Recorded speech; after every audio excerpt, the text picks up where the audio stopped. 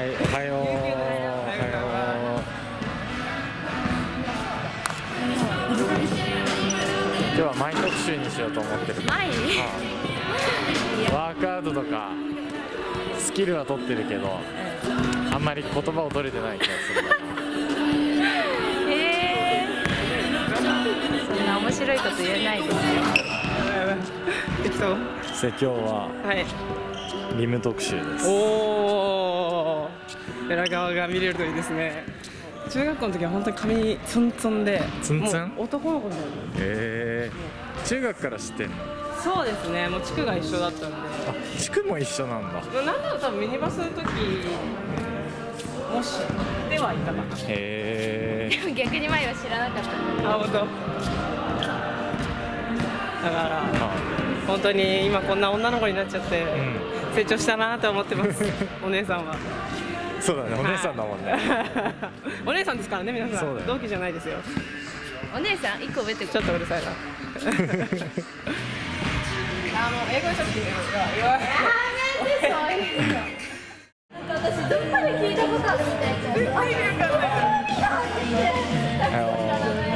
ママコママコママ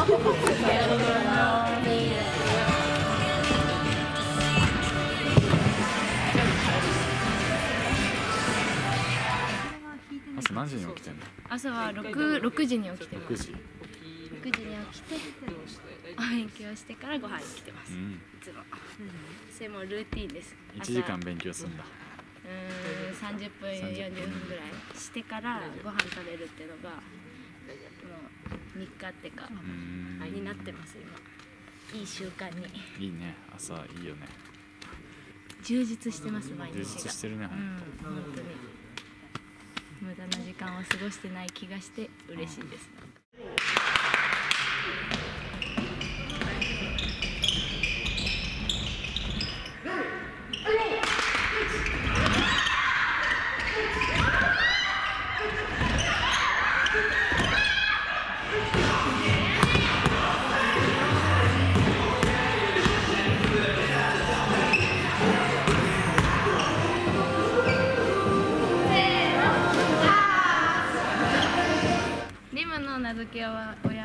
さんなんあ、です。てかレムとリムって似てない？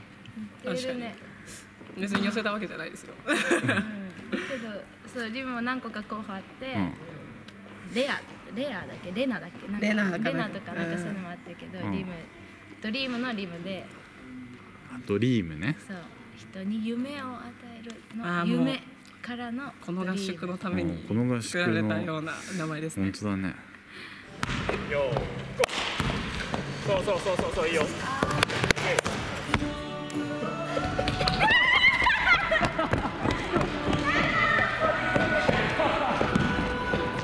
そうあの瞬間的に力を伝えていくいい走りを目指しているのでまあももっと速くなると思いますよ。先あのいいね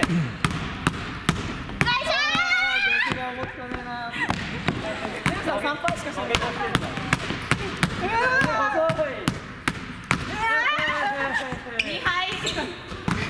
これはこれ見てる子供たちにも真似してほしいですね。そうですね。まあでもこれはでも本当に土台でこういうボールの動かすのと体の操作がつながってくるように今いろいろデザインしてやってるので、えー、すごい。はい。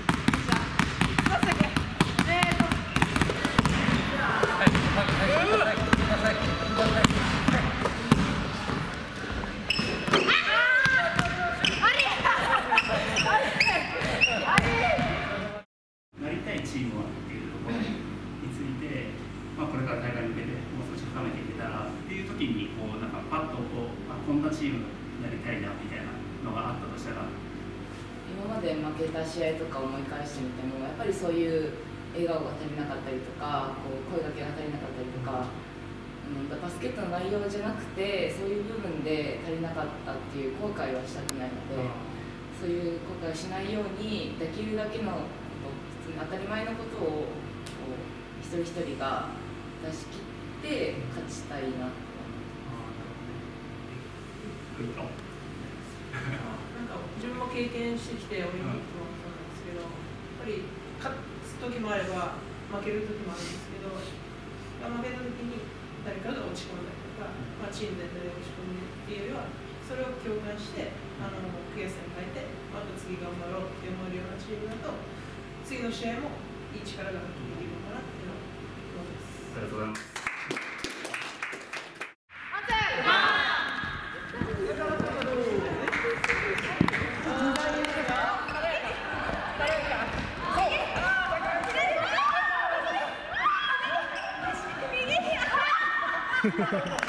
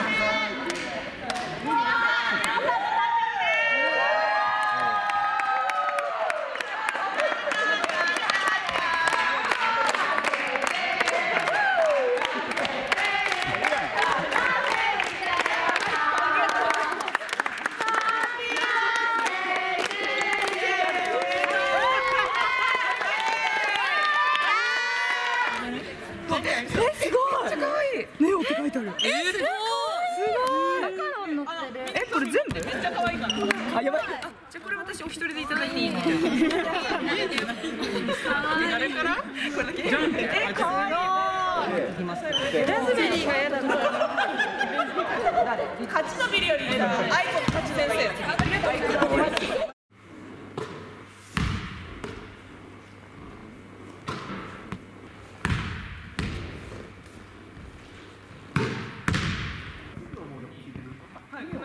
あほんなんかさっきとリズのシューティング変わったけど何アドバイスしたの？スタンディングで打っても試合ではあんまりそういうシチュエーションがないからスタンディングで100%を極めるぐらいだったらフットワークだったりハンドリングしてシュート打った方がゲームライクというかっていうのを説明しました毎日成長できてるなって感じながらすごく楽しく合宿を迎えれてますやっぱり人から吸収することができてるのはすごく楽しいんですけどやっぱそればっかりに意識しすぎて自分のその持ち味であるシュート力だったりその得点するっていう部分を忘れがちになってしまうっていうのもこの合宿であるのでやっぱそこはしっかり自分の自分らしさをしっかり出して絶対に選ばれたいなと思いますししっかり5人制のワールドカップフル代表でもしっかり活躍したいなと思ってます。あんまり考えすぎずに自分のやりたいことをやってそれが自分らしさにつながるプレーだと気づいたっていうか、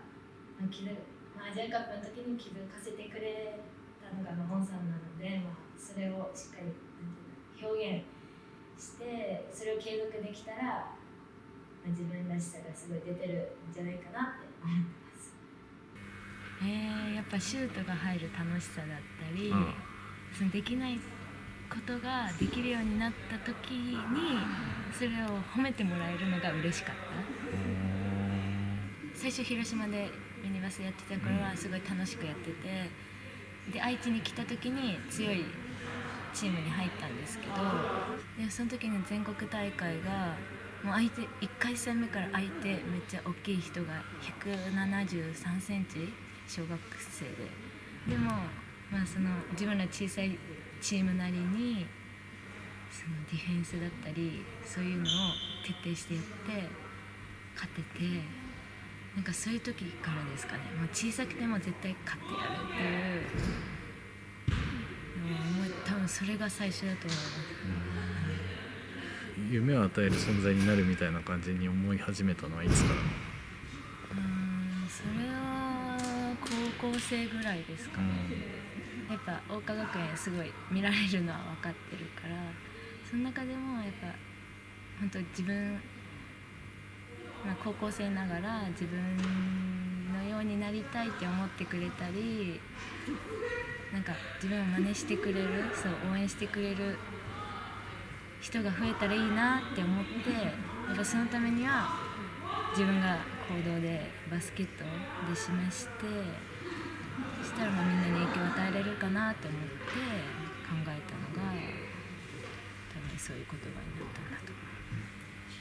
この合宿してて思ったのはその人に教わりたいって思うような選手だからその人だけのストロングポイントをその人に教わりたいって思うような選手になりたい。自分に教わりたいっていう人になり